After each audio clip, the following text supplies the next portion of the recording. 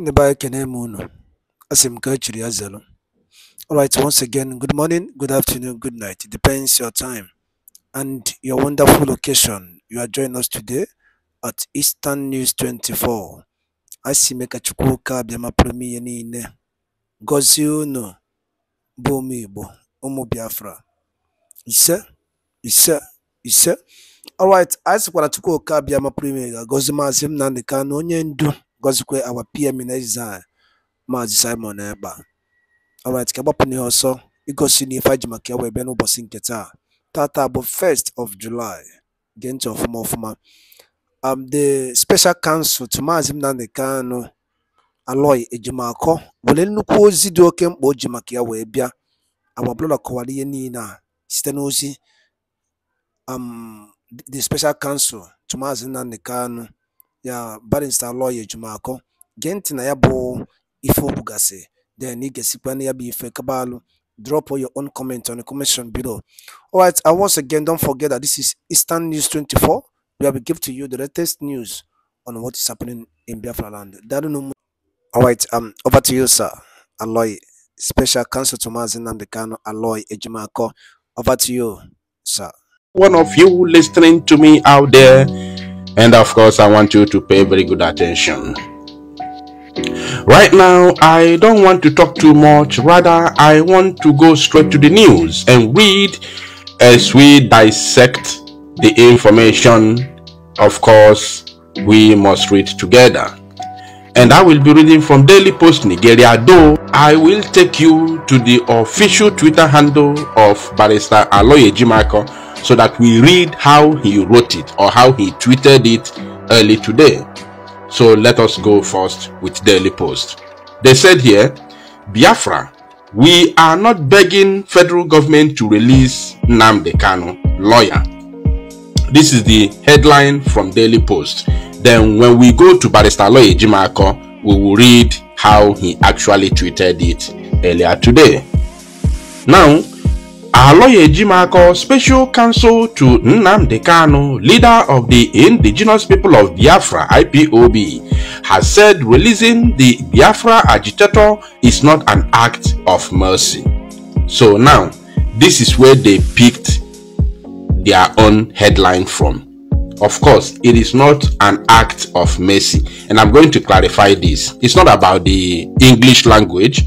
I'm going to clarify it. I'm going to let you know what it means that it is not an act of mercy, which is true. So, for me to clarify that, I will take you back to the previous tweet of Barrister Aloy Ejimakor, where he, you know, sent a special message to Tinubu.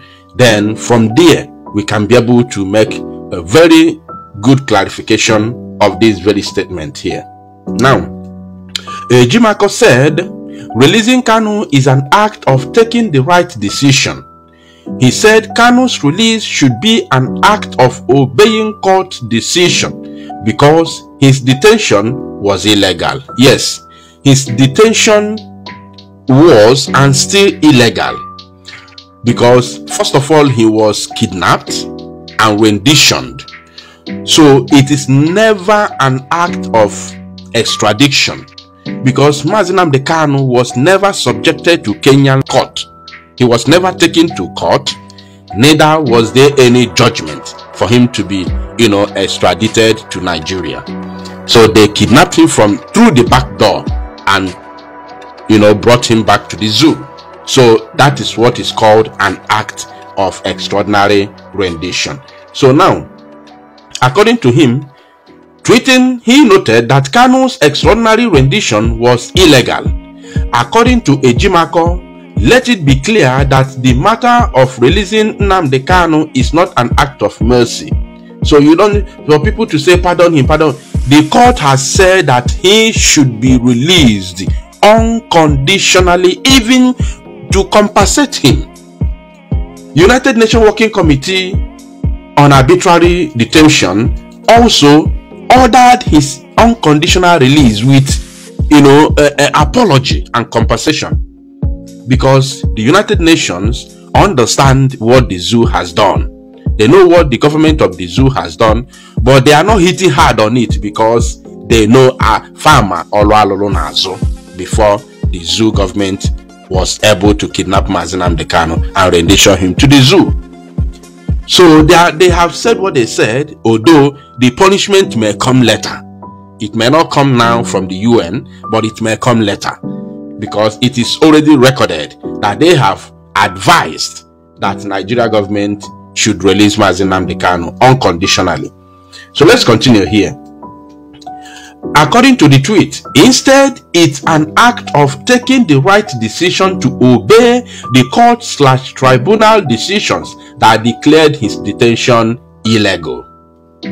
And this MNK shouldn't have been renditioned in the first place.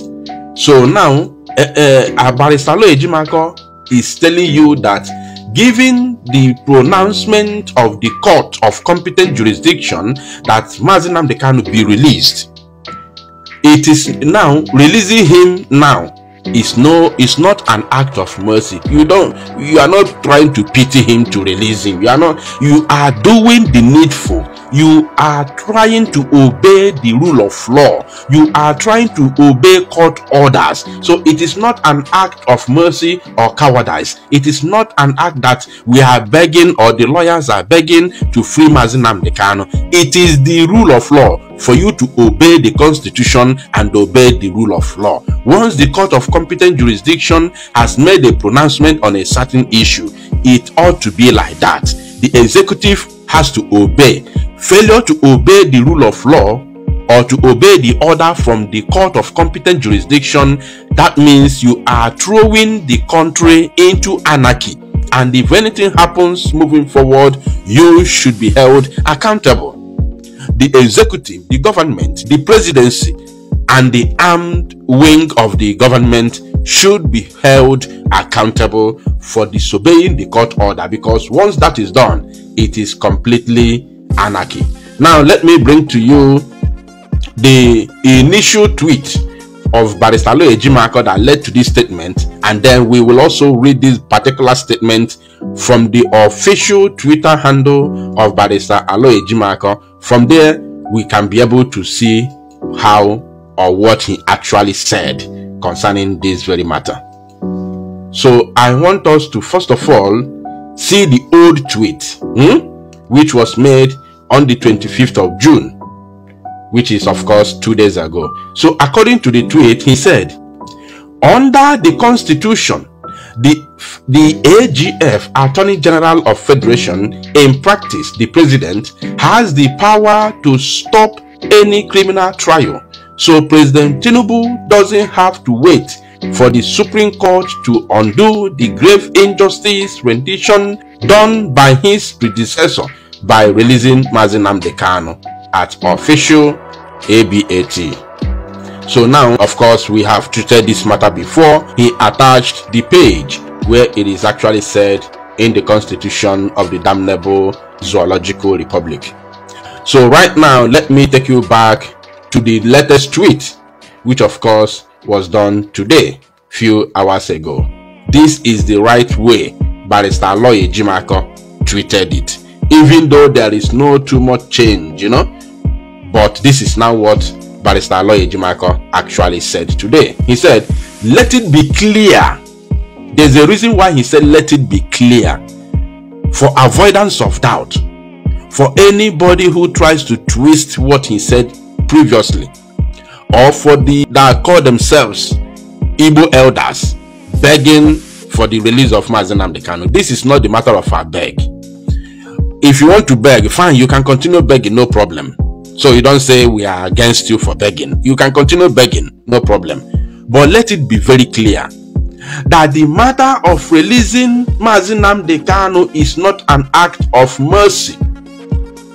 So you don't say tomorrow, pardon him, give him the presidential pardon. How do you give somebody presidential pardon when the court of law has already freed that person. The court of competent jurisdiction, as a matter of fact, the second highest court in the country, which is court of appeal. Because after Supreme Court, you get court of appeal before any other court in any country of the world. So now the court of appeal, which is as strong as being the second strongest court in the country, has said this man should be released unconditionally and immediately with apology and compensation. And you're still keeping that person. So, how do you arrive in pardoning that person or having mercy on that person? That means you have disregarded the court order and now you want to have mercy. And that mercy may come with conditions. So that's why it is good to be clarified for anybody begging for the release of Mazi Nnamdi Kanu should know that it is not a matter of mercy, but it is a matter of obeying court order, which every other nation in the world does, in order to respect and uphold democracy. He said here, instead, it's an act of taking the right decision to obey the court slash tribunal decisions that declared his detention illegal. And this, MNK shouldn't have been renditioned in the first place. If we get now, so this is the main matter here. This is the case here. This is how Barrister Aloy Ejimakor tweeted it. And it is very, very important to make this clarification. Maka ndị because the matter at hand is too heavy. It is not something that you treat with kid's glove. It is it is very fragile. If Nigeria makes any further mistake in the case of Mazi Nnamdi Kanu, it is capable of setting everywhere ablaze in the zoo. It is capable of causing inferno that even international community will struggle to quench. So the earlier they start speaking up now and start acting by sanctioning the zoo in so many ways, in a way that is going to impact the economy of the zoo of Nigeria very, very, very heavily, the better for everybody. The better for international community, the better for European Union, ụmụ chineke ụmụ ife. Ka ya ozi ozi nke ya the special onye ndu Kanu ọ na-anụgo ka Aloy Ejimakor ji wee kọwasịa ife and our brother nyerekwa aka ka wee kọwaa ife o kwugasị na Twitter handle ya. Yes ka efe nwere ike ikwu gbasata maka ya bụ ife nwanne nwoke kwu ana ya bụ ife Aloy Ejimakor kọwagasị maka Nnamdi Kanu's release ka ị nwere ike ikwu drop ya on the comment section below ka ọ na-agbasa ebe niile bụ mba ụwa. Ka ndị mba ụwa na-anụkwu ya. Alright and once again don't forget to share don't forget to subscribe. Stay tuned at Eastern News 24 where we bring to you the more news update on the line. That m ka emesịa